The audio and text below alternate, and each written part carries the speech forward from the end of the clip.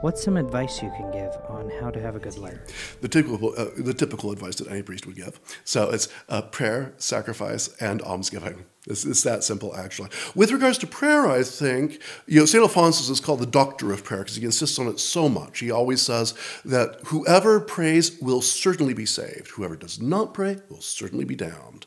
And that's why it's so important, especially in times of temptation. I think sometimes people forget this. The importance of just, you know, calling on God, on the name of Jesus and Mary during times of temptation. St. Alphonsus has this beautiful phrase from his book on the glories of Mary. He says, whoever sincerely calls on the name of Mary in time of impure temptation can be sure that he has not consented to mortal sin. And he goes on to explain this. He says, if, if you sincerely call on Our Lady's name, that she will make sure that you do not lose the grace and friendship of Jesus Christ, her Son, your Savior.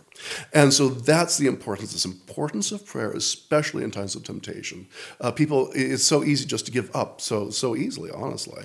Uh, whereas perseverance, that's the other thing. St. Alphonsus was always insisting on perseverance. That was whether the case of in this in the state of grace, perseverance in one's vocation in life. Gosh, we see this all the time nowadays. I mean, whether it's you know, you know religious people going off the off the deep end one way or the other, or you know married people separating like that. You know, the perseverance is absolutely essential. So, and prayer is a big part of this of perseverance. In fact.